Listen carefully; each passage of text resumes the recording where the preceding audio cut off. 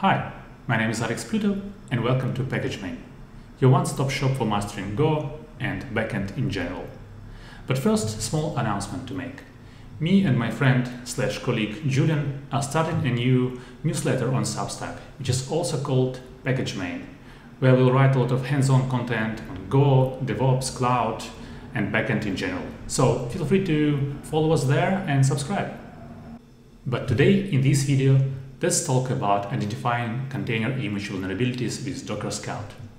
Let's get started.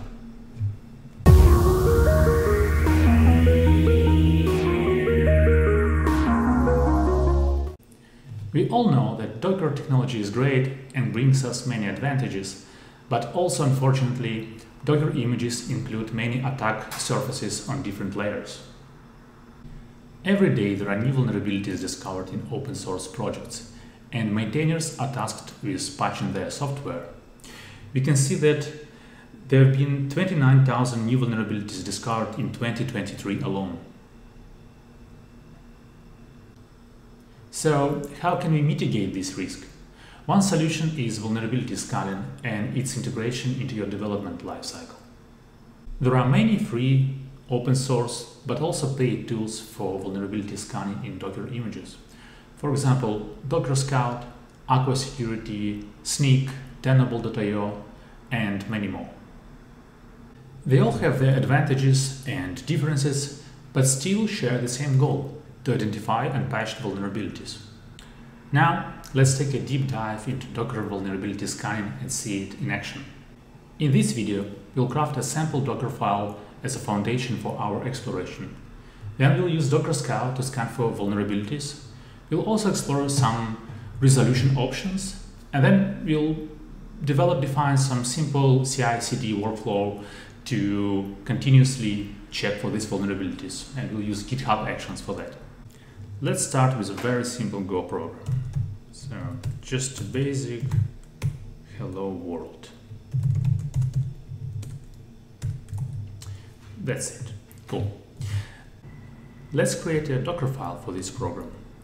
As our base image, we'll use Golang 1.19, which I know is not the latest, but also not really old. And um, I believe that many people still use it in their projects. So let's define the workdir. Let's copy say all the files and run go build say go app main.go file and then run this application. In order to start scanning our Docker image, we have to build it first, which is docker build.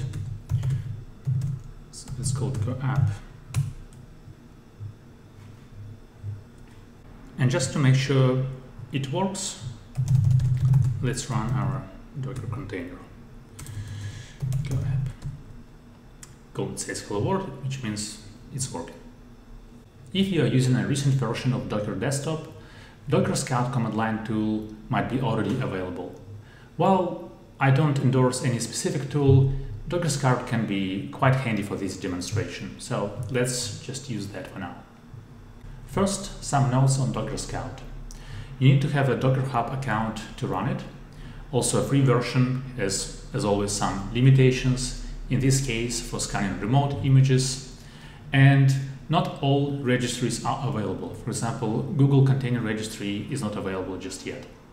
So to start using Docker Scout, here are the commands that you need to run. First, docker login, which I'm already authenticated, and then docker scout enroll and your account name. Now let's see which docker scout commands are available to us. There is a cves command that we'll be focusing on today, just displays the list of uh, identified CVEs or vulnerabilities. Uh, there is a recommendations command that can give you some hints on how to fix these problems.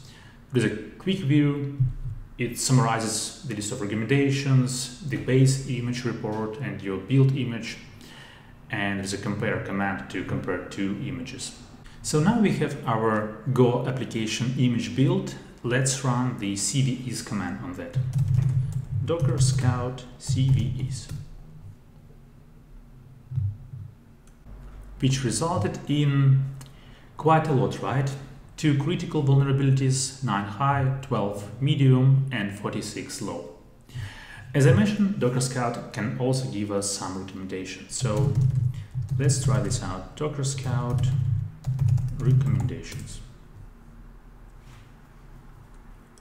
In our case, it suggests bumping our base image to 122, which we're going to try right now.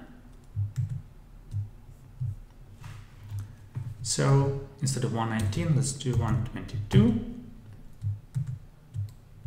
And now let's rebuild our image and run docker scout command again.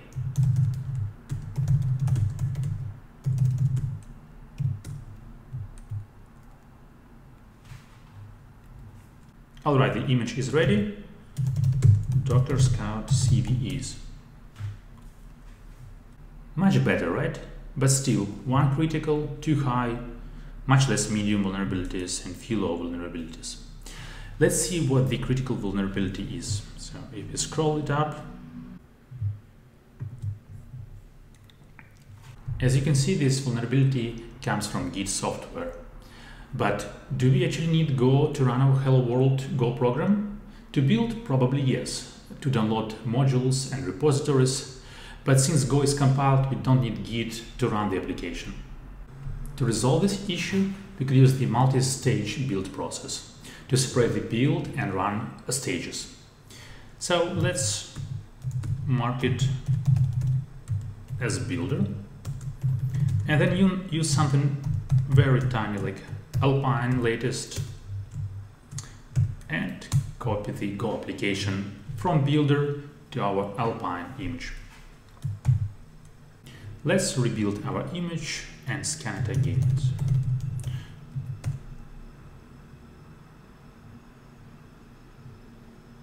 And run docker scout cves.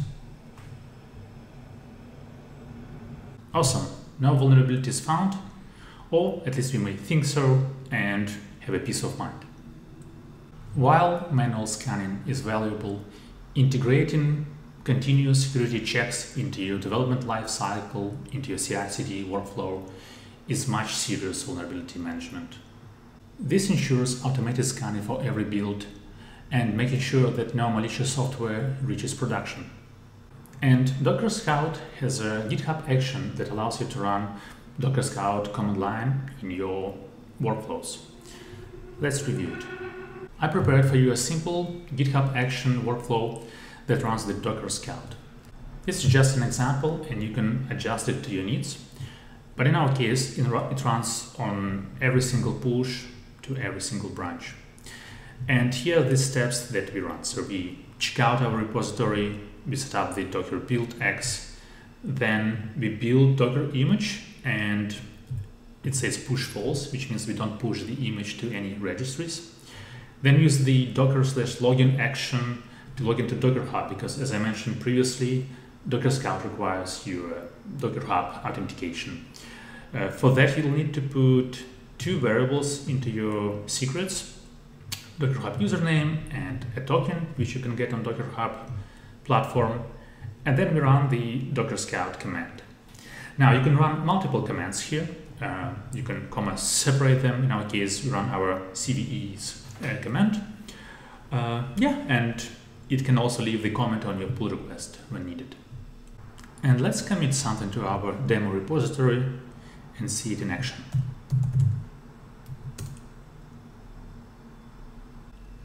All right, now we can see that our action is running. Let's give it some time. Alright, our action run was successful and here's the comment from the Docker Scout command. As we've seen it locally, uh, no critical or high vulnerabilities found, but imagine if there would be any, it will be all shown here, or on your pull request as well. And that's it for today. Remember that incorporating these practices into your software development lifecycle empowers developers to maintain more secure containerized ecosystem Thanks for watching and it's good to be back.